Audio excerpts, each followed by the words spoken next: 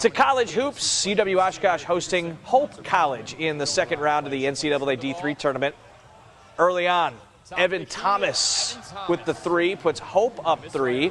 They had the early advantage. UWO, though, gets a spark off the bench from Will Mahoney. The Appleton West alum straight on three gives the Titans a one point lead.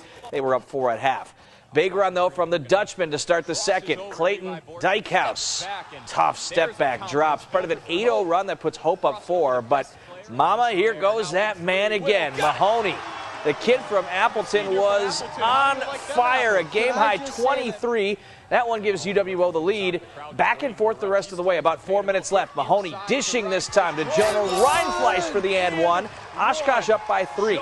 Final seconds. The lead is one. Hope with a chance to win it. It's Thomas. He gets a good look, but leaves it short.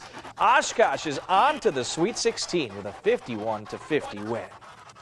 And they are the only local team remaining in that tournament. St. Norbert, the men, losing a close one to Wheaton College, 75 71.